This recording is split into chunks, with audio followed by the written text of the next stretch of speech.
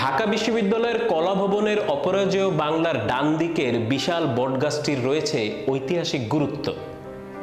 উনিশশো বাহাত্তর সালের চোদ্দই ফেব্রুয়ারি গাছটি লাগিয়েছিলেন তৎকালীন মার্কিন সিনেটর এডওয়ার্ড এম কেনেডি।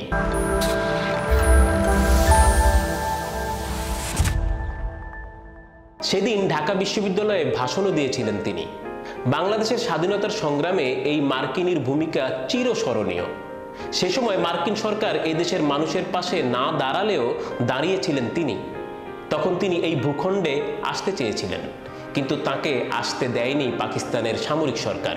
তিনি ভাষণে সে কথা তুলে ধরেন, বলেন, আমি বাংলাদেশেও আসতে চেয়েছিলাম, কিন্তু পশ্চিম পাকিস্তানের সামরিক সরকার তাদের সীমানার ভেতরের দৃশ্য বিশ্ববাসীকে দেখাতে ভীত হয়ে আমাকে ফিরিয়ে দিয়েছিল। আমি কষ্ট পেয়েছি। আপনাদের দেশের মানুষের দুর্দশা দেখে সারা বিশ্ব কষ্ট পেয়েছে। পাকিস্তানে আসতে না পেরে তিনি গেলেন ভারতে। নিজের চোখে দেখলেন লাখ লাখ উদ্বাস্তু বাঙালিকে। বাঙালির দুর্দশা অনুধাবন করলেন।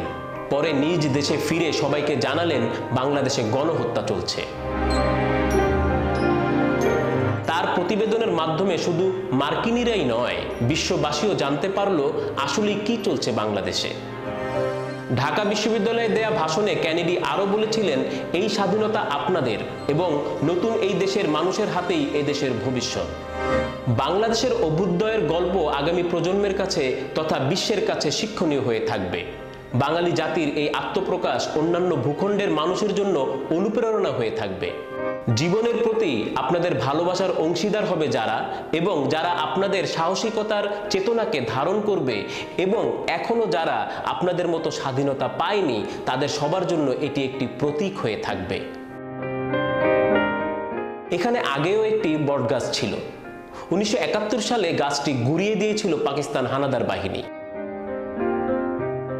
ঐতিহাসিক দিক থেকে গাছটি ভীষণ গুরুত্বপূর্ণ। ছয় দফা বাস্তবায়ন এবং আগরতলা ষড়যন্ত্র মামলা প্রত্যাহারের দাবিতে উনিশশো উনসত্তর সালের আঠারো জানুয়ারি একশো চুয়াল্লিশ ধারা ভঙ্গ করে শিক্ষার্থীরা এই বটতলা থেকে মিছিল বের করেছিল। দু হাজার বারো সালে ঢাকার ধানমন্ডিতে প্রতিষ্ঠিত হয় ইএমকে সেন্টার মজার বিষয় হলো ইএমকে সেন্টারের যে লোগো সেখানে এই গাছের প্রতীকী ছবিটি ব্যবহার করা হয়। চোদ্দ ফেব্রুয়ারি ইএমকে দিবস হিসেবে পালিত হয়। অনেকদিন আগের এমন আরও গল্প শুনতে ঢাকা অপেরার সঙ্গে থাকুন। আর করুন লাইক কমেন্ট শেয়ার